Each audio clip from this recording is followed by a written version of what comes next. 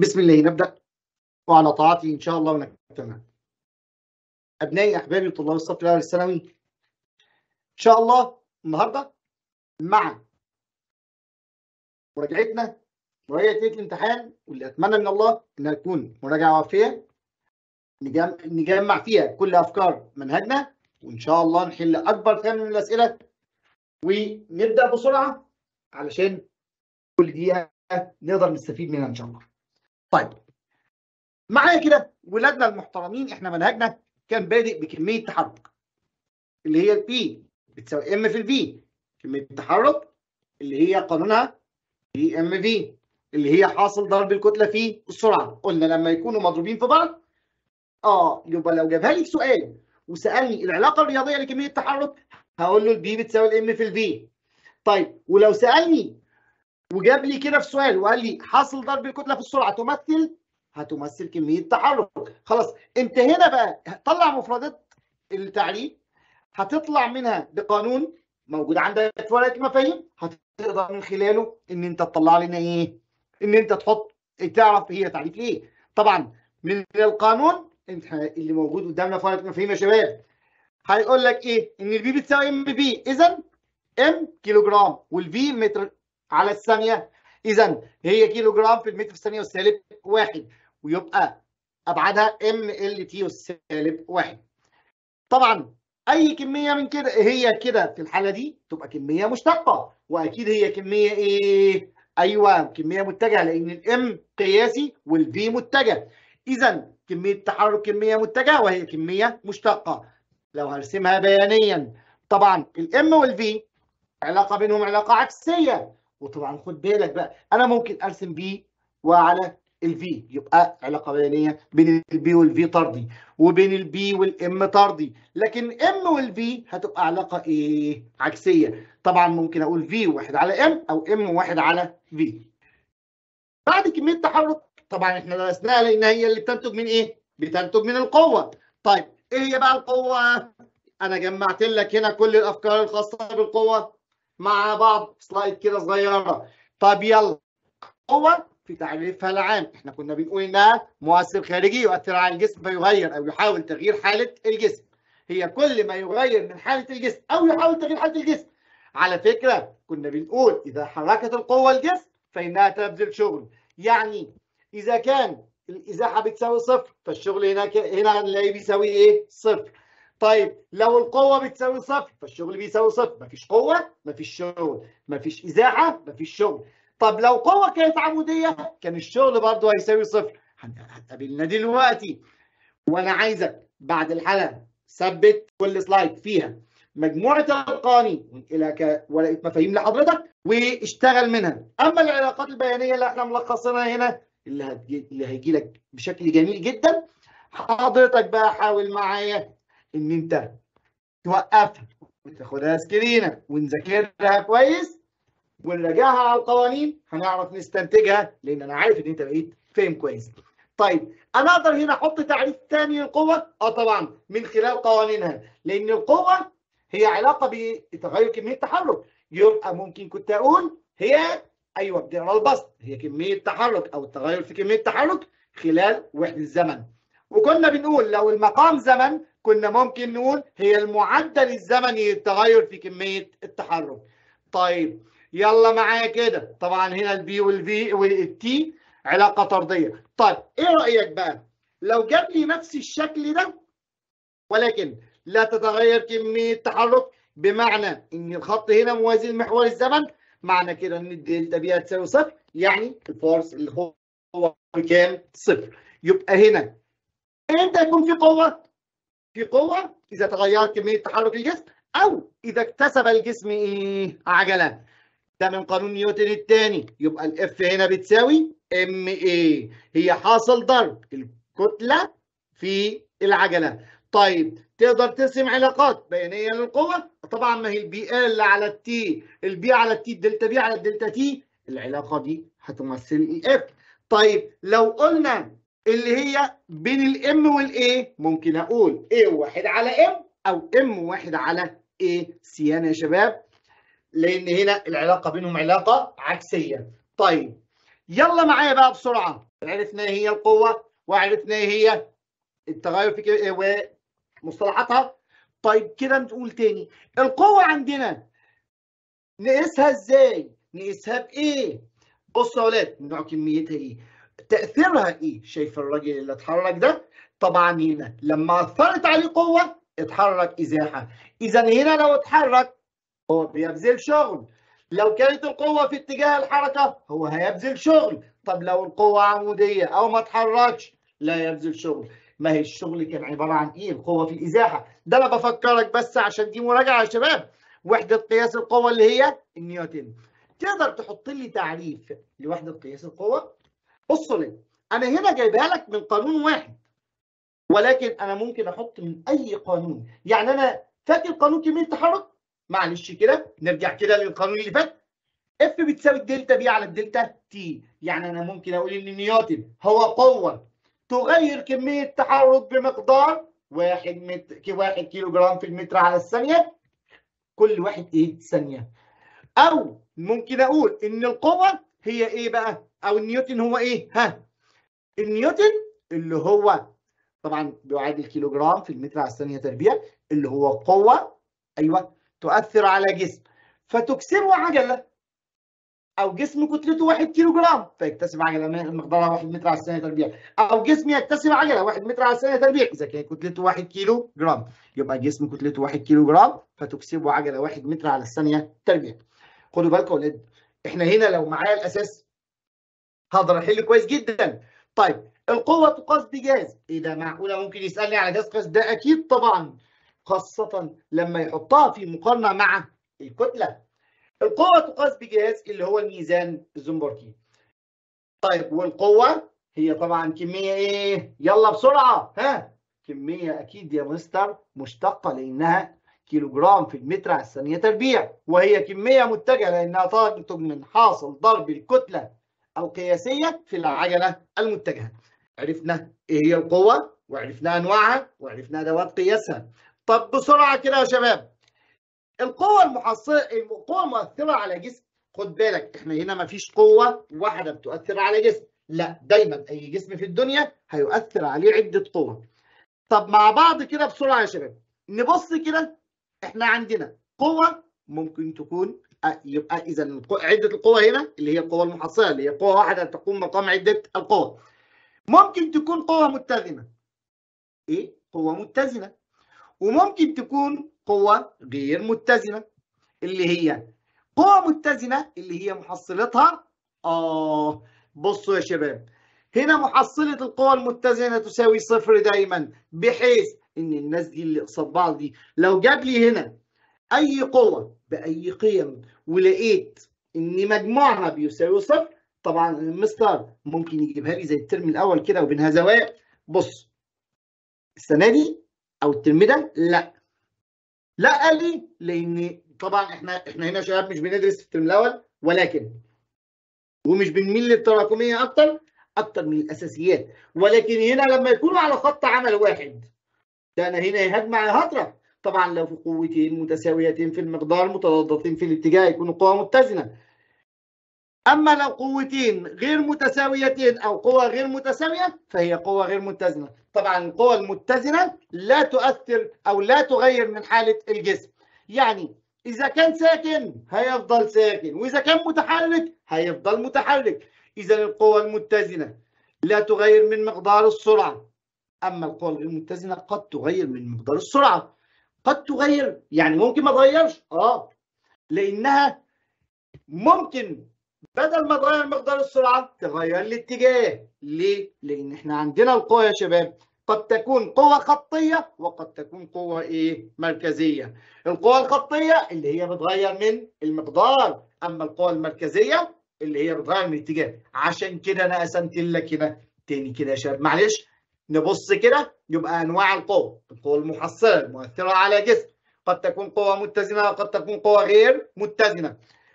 إذا أنا لو جاب لي صورة أو شكل أو أي حاجة أي دلالة على إن القوة اللي قدامنا قوة متزنة يعني محصلتها صفر إذا هنا في الحالة دي هقول له شكرا. أنت كده بتقول لي إن القوة بتاعتنا قوة متزنة إذا لا تبذل شغل. أما إذا كانت القوى غير متزنة فهي تبذل إيه؟ شغل. طب القوى الغير متزنة طبعا آه آسف اللي هي لا تغير من هي فهي تغير حاله الجسم. طبعا حتى القوى الغير. القوى المتزنة لا تبذل الشغل برضه يا شباب لأن الاقتصاد صفر. طب هنا القوى الغير متزنة. بص كده إحنا هنقسمها إلى نوعين. لسه بنقول قوة إيه بقى؟ قوة خطية اللي هي بتغير من إيه يا شباب؟ ها؟ تغير من المقدار. اذا هنا لو أنا شفت القوة في اتجاه الحركة أو في عكس اتجاه الحركة هقول عليها قوة إيه؟ خطية. أما لو لقيتها عمودية فهقول عليها قوة مركزية. القوة الخطية لا تغير من اتجاه السرعة ولكن أما القوة المركزية فهي تغير الاتجاه. أما القوة الخطية فهي تغير مقدار السرعة. والقوه المركزية هي اللي لا تغير من المقدار. إذا هنا إذا تأثر الجسم بقوة خطية فهو يكتسب عجلة خطية. والعجلة الخطية هنا تغير من المقدار ولا تغير من الاتجاه.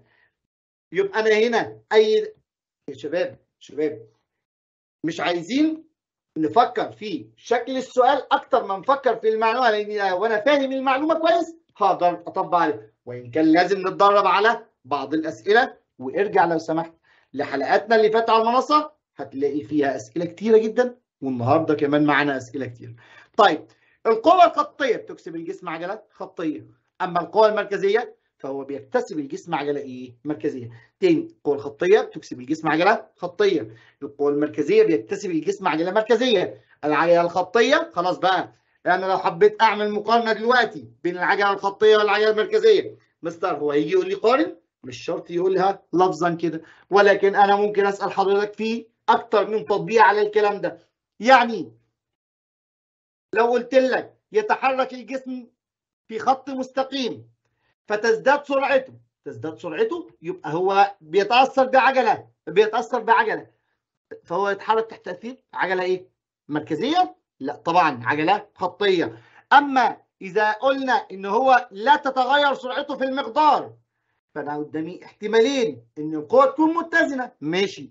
طب لو قوة غير متزنة ولا تغير المقدار يبقى أكيد بتكسب الجسم عجله مركزية لأنها أكيد قوة إيه؟ مركزية أو قوة عمودية على اتجاه الحركة. طيب يبقى إذا القوة الخطية عندي نوعين ها؟ يلا.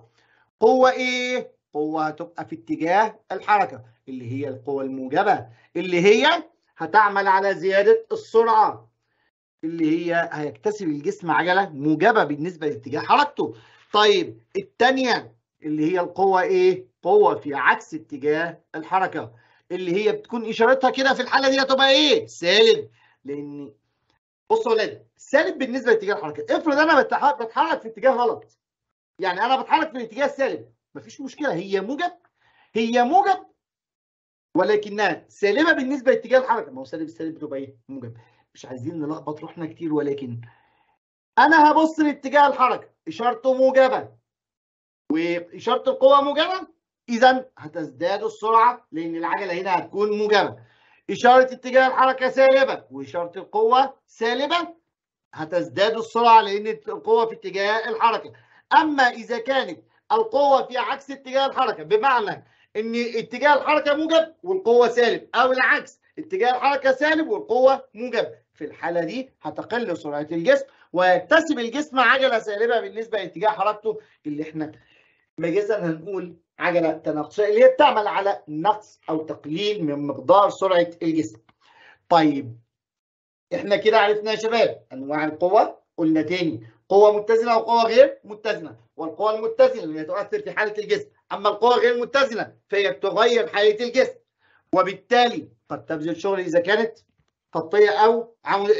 أما إذا كانت عمودية فهي لا تبذل شغل. ليه؟ لأن القوه العمودية زاويتها 90 وهنوصل للشغل. بس أنا خايف من الوقت. معلش. إذا هنا يا شباب إحنا بقى منهجنا. جمع لي بعض الصور للقوة في المنهج. الصور اللي إحنا خدناها في القوة خدنا من خلال قانون نيوتن الثاني. عرفنا قوة الجاذبية الأرضية اللي هي قوة الوزن. اللي هي الوات اللي هي بتساوي ام في إيه في الجي إيه هو قوة الوزن؟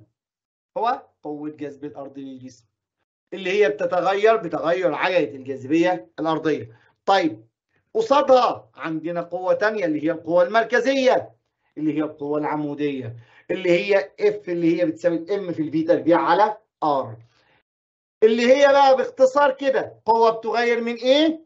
أيوه قوة عمودية على اتجاه الحركة بتغير من اتجاه الحركة بتكسب الجسم عجلة مركزية.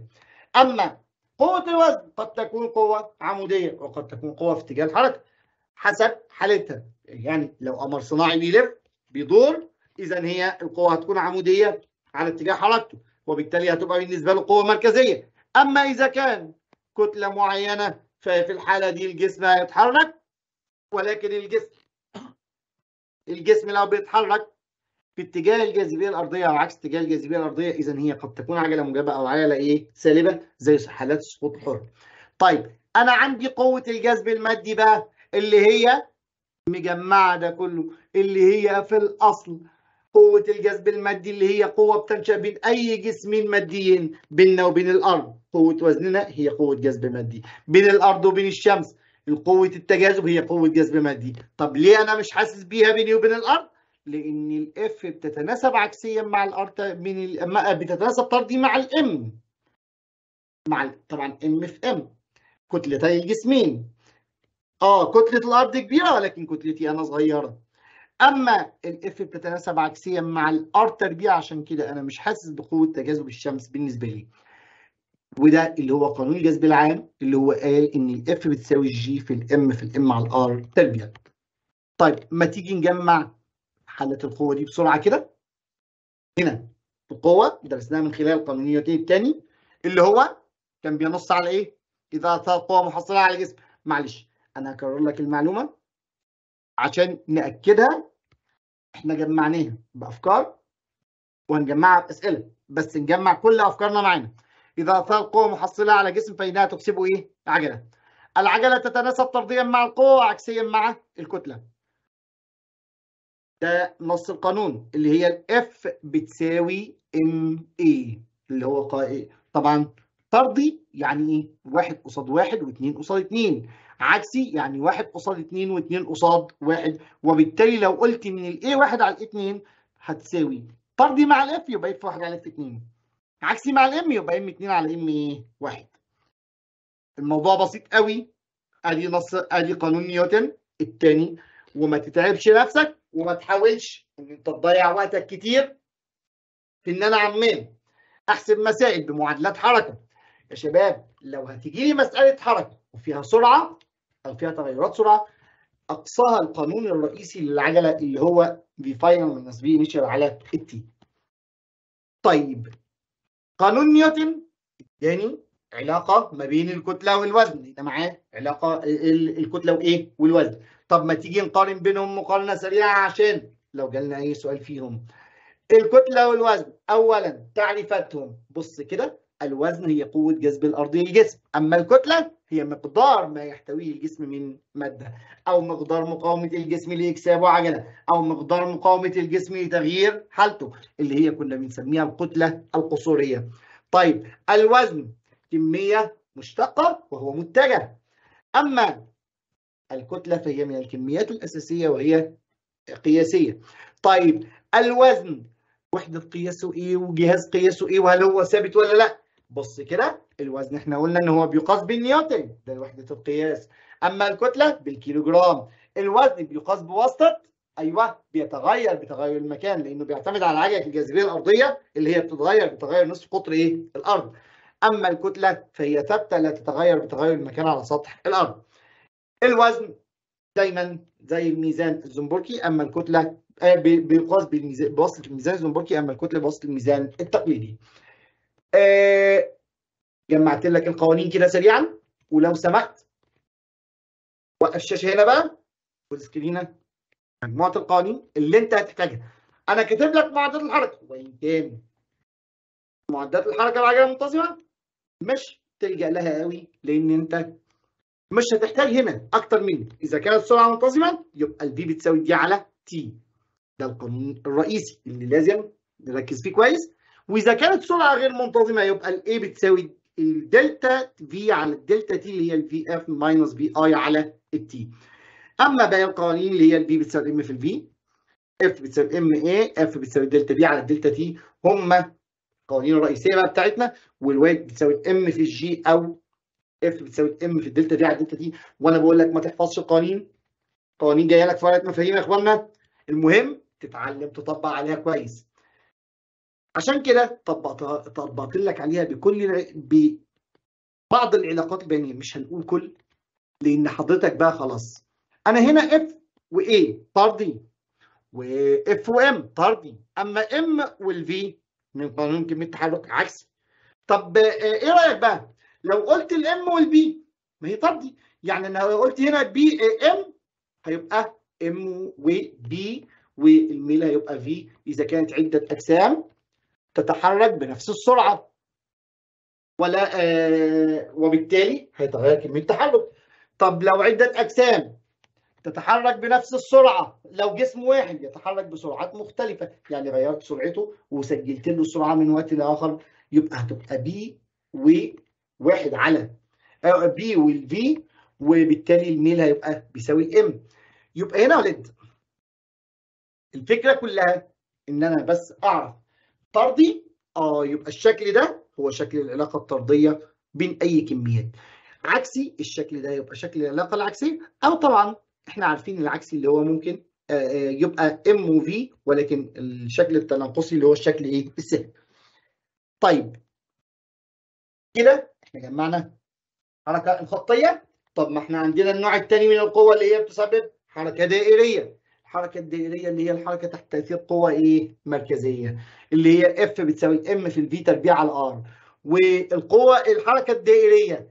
هنا القوة المركزية بتكسب الجسم عجلة مركزية اللي هي ال A بتساوي V تربيع على R اوعى تنسى إن أي جسم يتحرك في مسار دائري منتظم.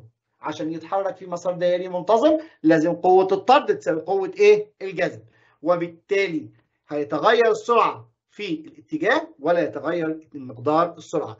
وناخد بالنا يا شباب إن الحركة الدائرية طبعا كده لو الجسم F طرد بتساوي F بتساوي سالب F جذب اللي هي بيتساوي الاثنين في المقدار ويتضاد في الاتجاه في الحالة دي حركة الجسم هيتحرك على طول محيط دايرة مغلقة وهيبقى الجسم بيتحرك بسرعة مماسية وإحنا عارفين كويس قوي إن السرعة المماسية للجسم هي سرعة. أيوه خد بالك. أنا لسه بقول لك إيه لازم تاخد ناخد بالنا إن ال V بتساوي D على ال T.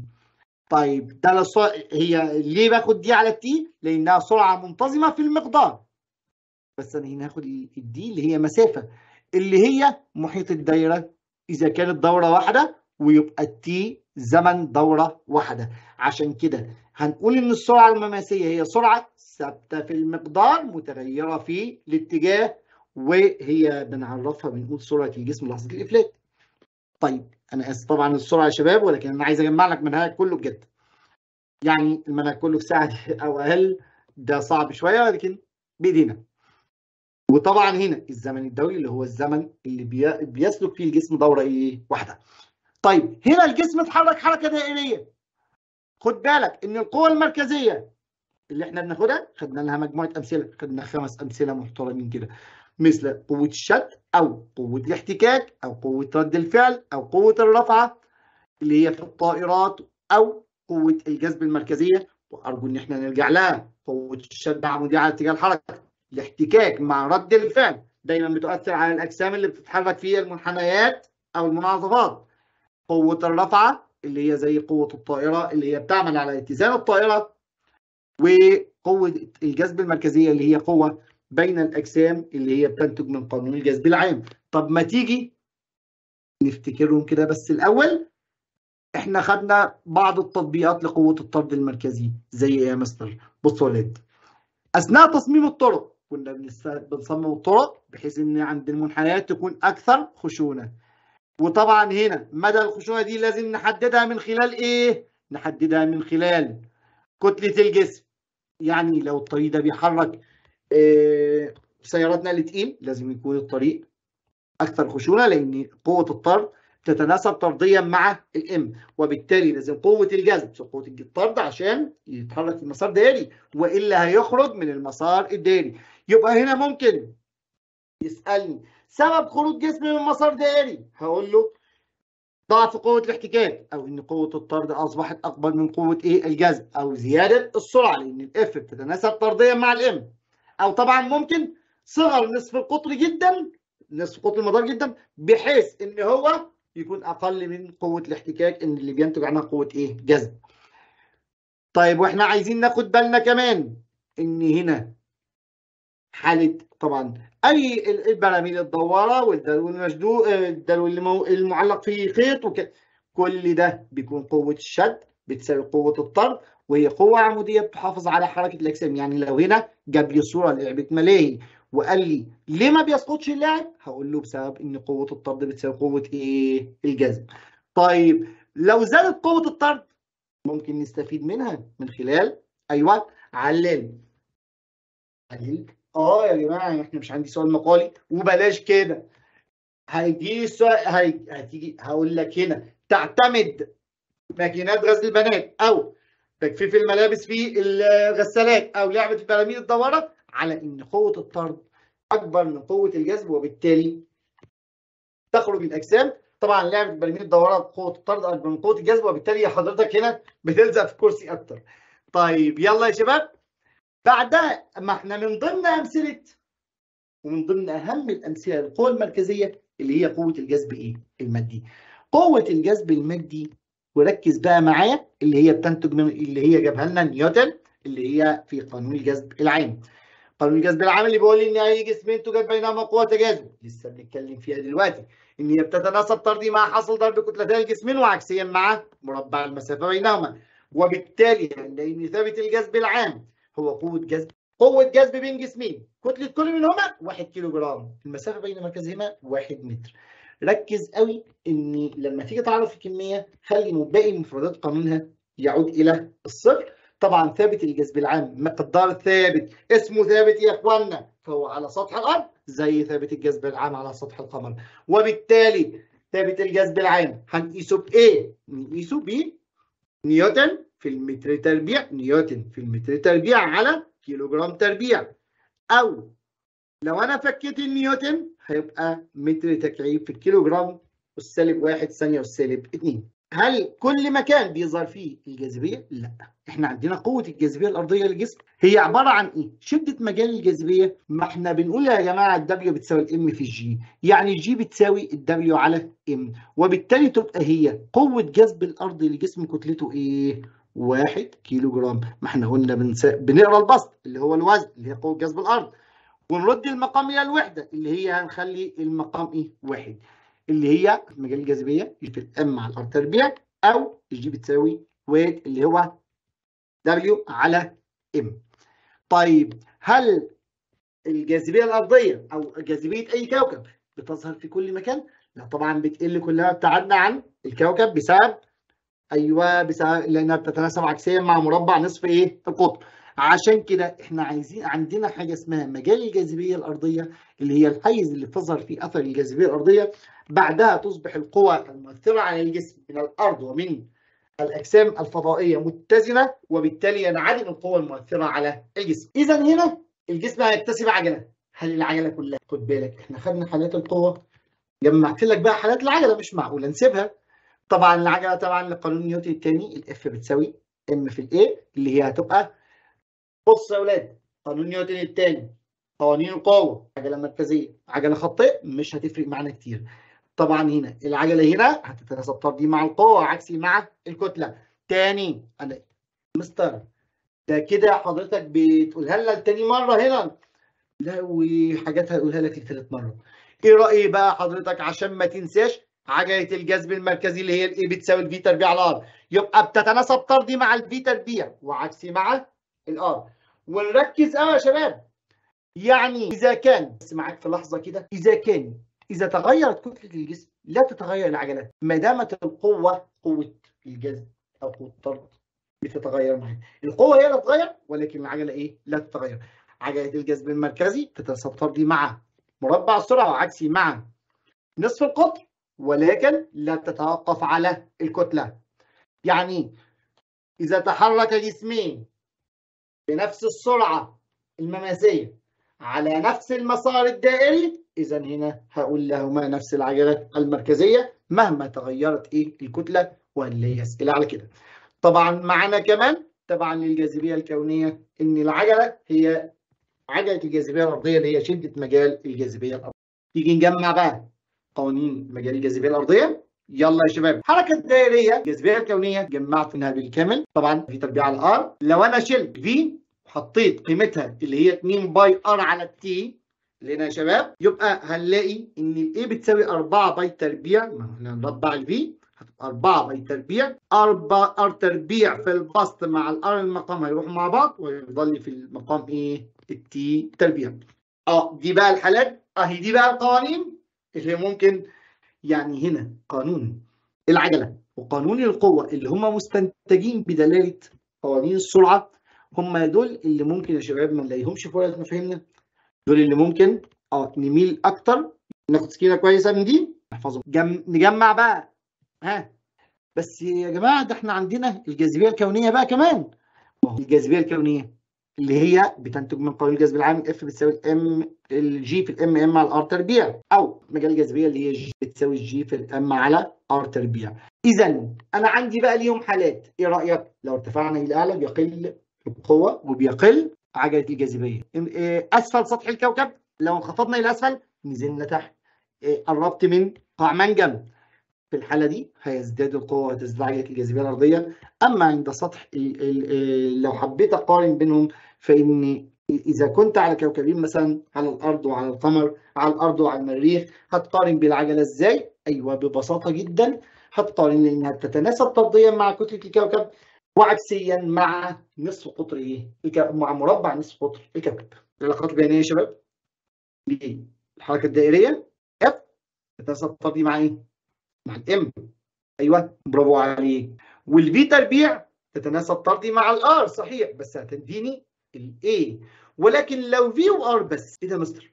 ممكن تبقى V و R آه. ارجع بقى للقوانين كده هتلاقي إن أنا كاتب لك إن ال V بتساوي أيوه المحيط على الزمن الدوري. يبقى 2 pi R على ال T يبقى ال V على R 2 pi على ال T أنا حبيت بقى نجيب حتة كده أكبر شوية. طيب لو ال R وال T طب ما إحنا واخدين ال T من قانون ال V بقى برضو ها؟ يلا. يبقى ال R بتساوي إذا ال T بتساوي إيه؟ ده مستر ده إحنا كده 2 pi R على ال V يبقى ال R على ال T اللي هي تبقى 2 pi على ال V طب لو ال R اللي هي ال T على ال R لو قلنا R على ال T بقى اعكس اقلب الكسر تاني يا ولاد تاني. هنا السكيان اللي معاك من القوانين اللي معاك ارجع لها كده وهتشوف إن إيه؟ عندنا ال T بتساوي 2 pi R على إيه؟ على V طيب يبقى ال T على R ما أنا هنا لو قسمت على R هيديني 2 pi نفس الحالة بتاعت إيه؟ السرعه هتديني 2 pi R على V طب إيه رأيك بقى لو قلبت لو قلبت العلاقة البيانية؟ أي علاقة بيانية ده تنقلب اقلب الكسر يعني مثلا لو جيت هنا للعلاقة البيانية بين ال V تربيع وال R وخليتها بين ال R وال V تربيع بدل ما هي اي سي اللي هي العجله المركزية هخليها واحد على اي سي طيب العلاقات البيانية اللي قانون الجذب العام؟ طب ليه يا مستر قانون الجذب العام علاقاته البيانية آه منحنية؟ طبعا لأن هنا في عندي R تربيع اختلاف آه في دالة تربيعية وفي نفس الوقت عندي في أكثر من متغير فإذا كانت المتغيرات كلها ثابتة فعلى الأقل الداله التربيعيه التربيع هيغير الكمية فهيسبب إنها تكون منحنى. كده إحنا جمعنا مع بعض كل قوانين الحركة الخطية والمركزية بسرعة كده. الطاقة والشغل. ده موضوع أبسط من البساطة بقى. إيه رأي حضرتك؟ إيه هو الشغل؟ الشغل F ال work اللي هو F D cosine theta اللي هو حاصل ضرب القوة في الازاحه خد بالك إحنا بنقول القوة إيه؟ القوة العمودية في الإزاحة. برافو عليك. طيب والطاقة اللي هي القدرة على بذل الشغل. اذا هنا أنا لو قدرت أشتغل أنا عندي إيه؟ طاقة. خد بالك الطاقة والشغل هما شيء واحد والاثنين بيقاسوا بنفس وحدة القياس اللي هي الجول. كل صور الطاقة تقاس بنفس الوحدة. عشان كده ممكن في وسط السؤال بدل ما يقول لي احسب طاقة حركة احسب طاقة وضع احسب طاقة ميكانيكية ممكن يقول لي احسب الشغل. بس هنا أعرفهم إزاي؟ أعرفهم من خلال الحالة نفسها. يعني طاقة الحركة اللي هي ال KE بتساوي نص M V تربيع اللي هي الشغل المبذول أثناء الحركة. فلو سألني وقال لي احسب الشغل المبذول أثناء الحركة هقول له ال KE بتساوي النص هجيب طاقة الحركة.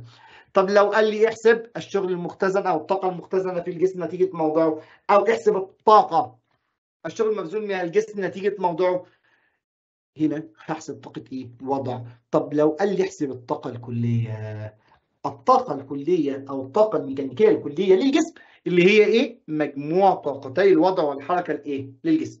اللي هي الكي اي بتساوي ال ME بتساوي ال KE زائد ال PE طيب كده إحنا بمنهجنا كله ما عادش غير إن إحنا نعرف إن الطاقة لا تستحدث من عدم ولكن يمكن تحويلها من صورة إلى صورة أخرى.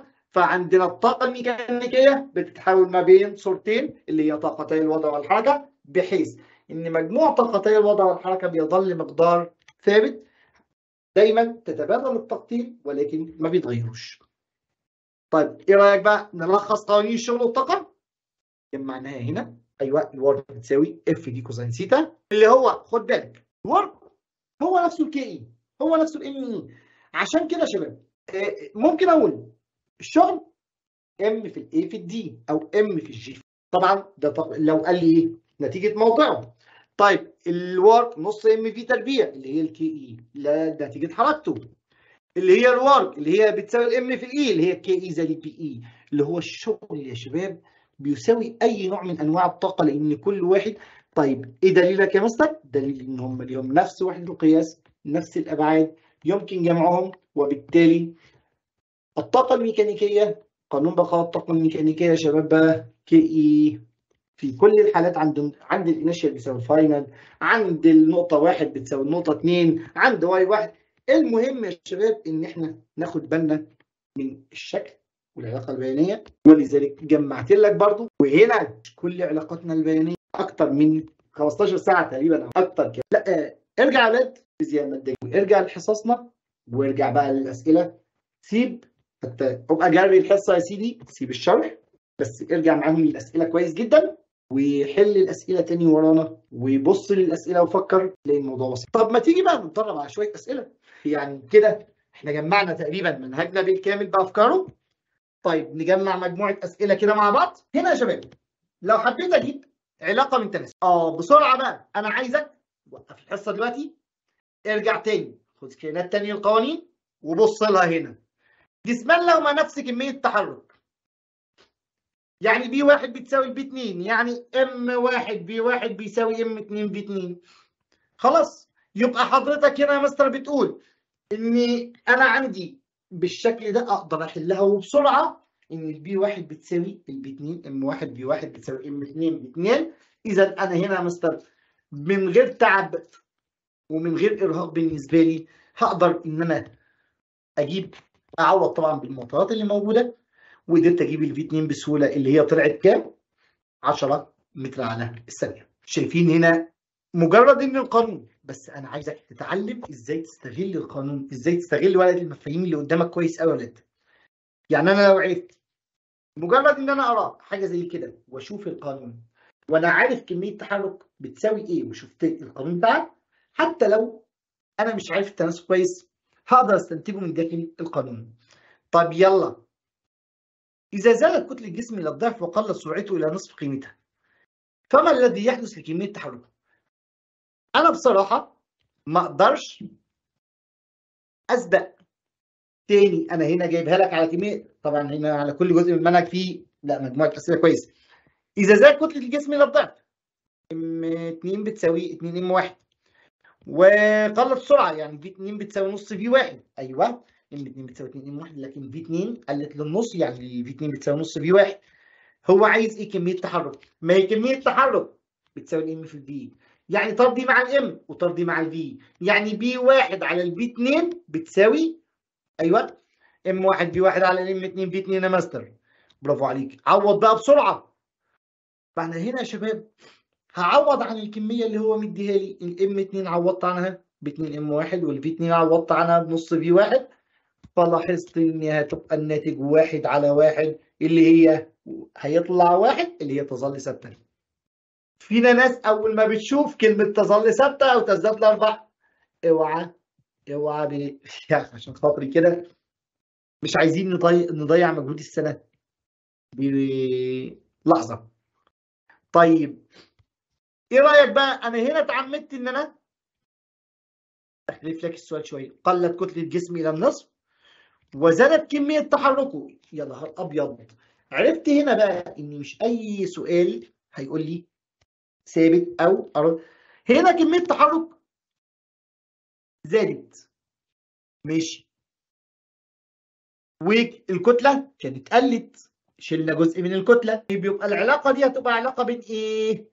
علاقة بين السرعة. V واحد على ال V 2 ال V مضروبة في ال M يبقى عكسي. ومقسومه على ال P أو ال P مقسومة على ال V يبقى العلاقة بينهم علاقة طردية. يعني V واحد على ال V 2 بتساوي P واحد على P 2 لأنها طردي مع ال P وعكسي مع ال M يبقى لو جاب لي إيه؟ هتبقى نفس الحكاية. طبعا أنا هنا أولاد أهم حاجة في مسائل التناسبات. مين إن أنا أحول اتنين أخليها في طرف لوحده وبالتالي هعرف إذا كان الناتج أقل من الواحد يعني هات بي في واحد على في اتنين بي واحد على اللي هي واحد على اتنين. لو النسبة أقل من الواحد إذا النسبة بتاعت حضرتك يقل. طب لو النسبة أكبر من الواحد يبقى الناتج بتاع حضرتك إيه؟ هتقول لي إن هو يزداد كده زادت إلى أربع أمثال طبعا تيجي يلا من العلاقة أو من أي قانون هنقدر نرسم علاقة ناخد العلاقة البيانية ونقدر من نطلع منه بحاجات كتير أنا لو فاهم القانون كويس هيطلع الموضوع سهل جدا بي وفي إيه رأيك؟ الميل هنا P على V طب الميل هيساوي إيه يا أولاد؟ طب دلتا P على دلتا V اللي هو دايما الميل بيبقى ظل الزاوية المحصورة مع الافقي إيه الجمال ده بقى؟ ده أنا كده هعرف إن ال P على ال V بتساوي M مستر ما هي P على V بتساوي M يعني معنى كده الميل ده بيساوي M يبقى الكتلة هنا بتساوي إيه؟ tan 45 اللي هي بتساوي كام؟ واحد. يبقى الجسم ده آه ممكن يجي يقول لي فإن العلاقة بين كمية التحرك والسرعة. ممكن يجي يسألنا ويقول لي تتساوي كمية التحرك مع السرعة. إذا كانت الكتلة بتساوي واحد. طيب يكون ميل الخط المستقيم يساوي أو 45 درجة. إذا كانت الكمية الكتلة بتساوي واحد يبقى في الحالة تساوي كام؟ واحد كيلو جرام ده الكتلة. تعالى. مديني منحنيين وعايزين بقى نشوف إيه ده مستر خد بالك هنا. P و M يدونا إيه يا شباب؟ يدونا ال V طيب أنا بقى عايز نربط هنا بين حاجة بين حاجتين. طيب P على M بتديني ال V كل ما زاد الميل معنى كده ان السرعه هيحصل لها إيه؟ معنى كده ان السرعه هيحصل لها إيه؟ هتزيد يا مستر. برافو عليك. طب لما نقول إن السرعة كده بتزيد يبقى الإزاحة اللي هتقطع خلال نفس الزمن. ما هي الفي بتساوي دي على التي. الدي على التي يعني السرعة هنا يا ولاد هي ميل الخط المستقيم بين ال P وال M وهي نفسها ميل الخط المستقيم بين ال D وايه وال T ده إذا كان جسم يتحرك بسرعة منتظمة. وفي الحالة دي ياه ده الموضوع طلع بسيط قوي يا مستر. يعني إذا كبر الميل هنا لازم يكبر الميل في الجهة الأخرى وبالتالي إذا كان هنا واحد واثنين يبقى برضه واحد واثنين اللي هما الميل الأكبر. السرعة الأكبر لازم يكون الميل العلاقة بين السرعه والزمن تكون إيه. هنا ده من الفهم. يا شباب الموضوع محتاج إن أنت تفهم. جمعت لك الأول قبل ما نفكر جمعت لك الأول. وهنا مجمع لك أسئلة على كمية تحرك بسيطة كده في الأول. لا معانا معانا الباقي لا. لسه زمايلنا شوية كده. اي ما الاتي يوضح العلاقة بين كمية التحرك والسرعة. ها؟ خلاص. إحنا عارفين إن كمية التحرك التناسب الطردي مع السرعة يبقى علاقة إيه؟ طردية مباشرة. وبالشرط طبعا إزاي يكون آه 45 لا طبعا قد قد تختلف طب إيه رأيك بقى؟ لسه عمالين نتكلم في في الطاقة والشغل ولسه من شوية مجمعين قوانين الطاقة والشغل. فهنقول هنا الشكل اللي قدامي ده. الجسم بيتحرك. فليه؟ طاقة وضع. طاقة إيه؟ حركة وطاقة ميكانيكية. هو مديني كتلته كام؟ 60 بيتحرك بسرعة كام؟ حلو. 8 وطاقته الميكانيكيه ما هو إحنا عارفين إن الطاقة الميكانيكية مجموع طاقتي الوضع وإيه؟ والحركة. بس الكتلة والسرعة بيدوني إيه؟ بيدوني طاقة حركة.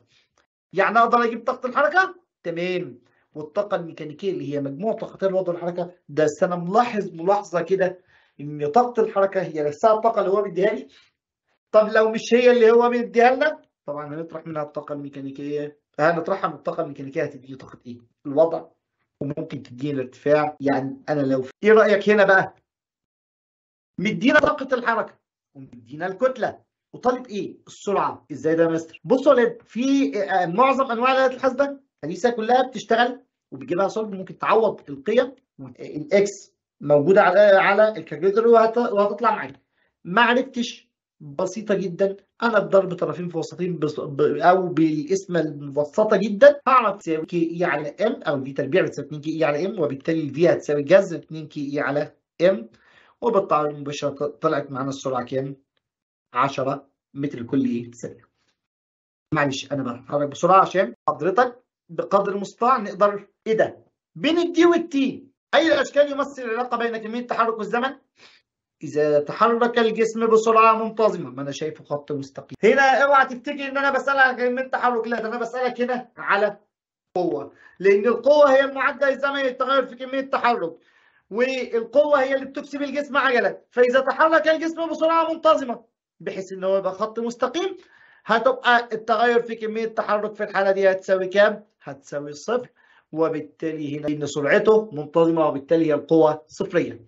طب تعالى كده نبص لمجموعة أشكال بيانية توضح مجموعة من الأجسام لها نفس الكتلة ومرسومة جميعا. فيكون الرسم ده معبر عن حالة أكبر كمية تحرك خلاص بقى عرفنا إن أكبر كمية تحرك اللي هي أكبر سرعة وبالتالي الميل بتاع كمية التحرك مع الميل كمية التحرك مع الكتلة هي نفسها ميل السرعة مع الزمن. كرة بندول كتلتها آه.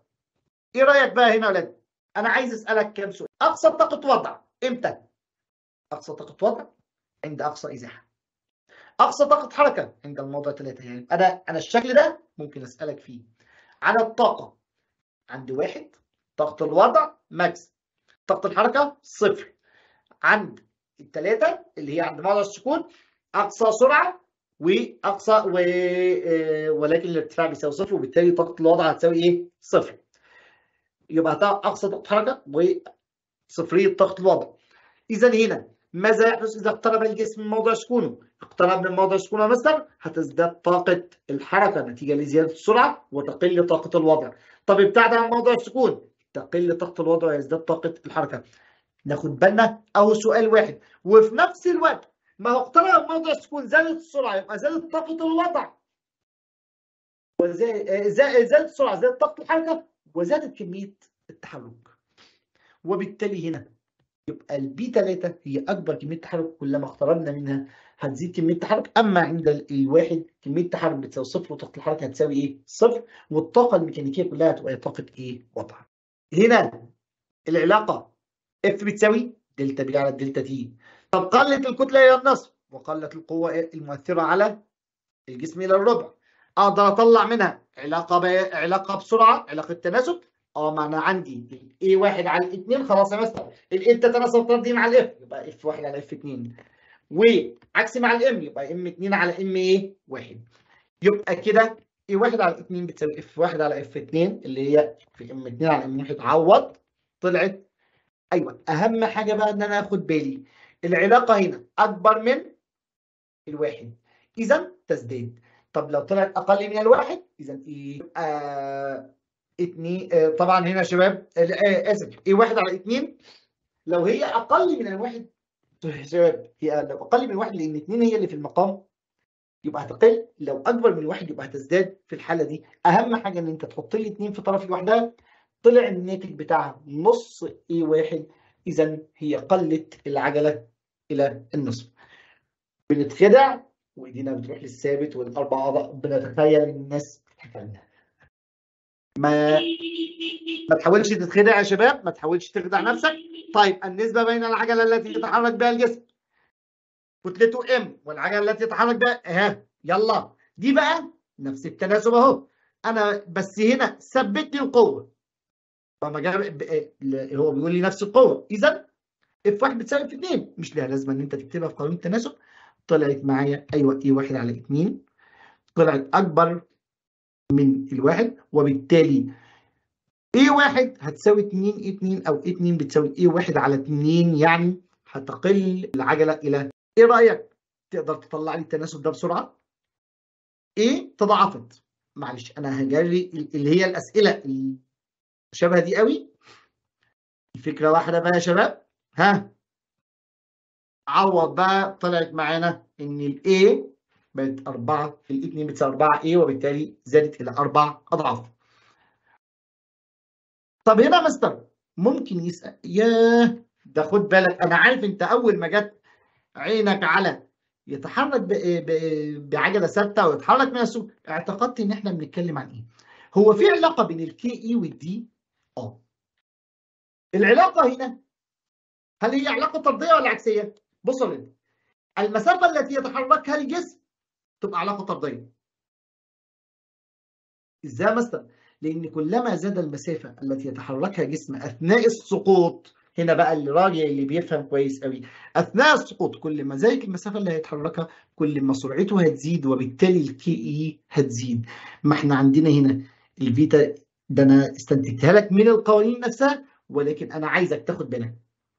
إذا قذف إلى اعلى المسافة اللي هيتحركها هتبقى عكسية مع ال KE لأنه كلما صعدنا آه تطلع فوق السرعة بتقل وطاقة الحركة إيه؟ بتقل. هتنزل تحت السرعة هتزيد وطاقة الحركة هيحصل لها إيه؟ هتزيد. وبالتالي كلما صعدنا إلى أعلى تتناسب المسافة طرديا مع طاقه الوضع وعكسيا مع السرعة مع طاقه الحركه العكس تماما. عند أثناء السقوط المسافة اللي هيتحركها الجسم مش ما بنقولش الارتفاع يا شباب. الارتفاع لا الارتفاع على طول طردي مع طاقة الوضع. لكن أنا بتكلم عن المسافة اللي هيتحركها الجسم أثناء السقوط هي طردية مع طاقة الحركة لأنها هتزود السرعة وعكسية مع طاقة الوضع لأنها هتنقص إيه؟ الارتفاع. سريعا سؤال سريع كده عشان نبقى خدنا كمان تطبيق على العجلة المركزية. F على ال V تربيع. F على ال V تربيع مستر آه ما هو هنا بقى الميل. F على ال V تربيع. ما هي ال M بتساوي؟ ال F بتساوي ال M في ال V تربيع على R. يبقى ال F على ال V تربيع.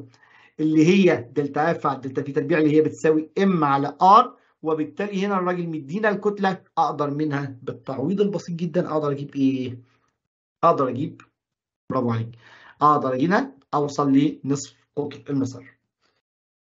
طيب يا ولد إحنا كده يعني ده هو آخر سؤال معانا خد بالك لسه بنقول طاقة الوضع والارتفاع طاقة الوضع والارتفاع تناسب إيه؟ طردي. لكن طاقة الوضع والمسافة التي يتحركها الجسم أثناء في الجاذبية الأرضية أثناء الصعود هي عكسي مع المسافة هي طردي مع المسافة لأن المسافة بتزود الارتفاع وتنقص السرعة. أما أثناء السقوط فهي عكسي مع المسافة لأن المسافة بتنقص الارتفاع ولكنها بتزود إيه؟ السرعة. بس تاخد بالك إن الطاقة الميكانيكية تفضل دايما مقدار إيه؟ وهنا من الخط اللي قدامي ده يا شباب ما هي ال PE بتساوي M في ال G H M في ال G اللي هي ال weight وبالتالي ال PE على H هتساوي M في G اللي هي الوزن يعني أتمنى إني أكون جمعتها لك بقدر استطاعتي وأتمنى إن إحنا نرجع اسئله من تاني يا شباب. ونرجع للأسئلة أثناء السنة. شكرا يا شباب. وإن شاء الله تكون سنة سعيدة عليكم. شكرا.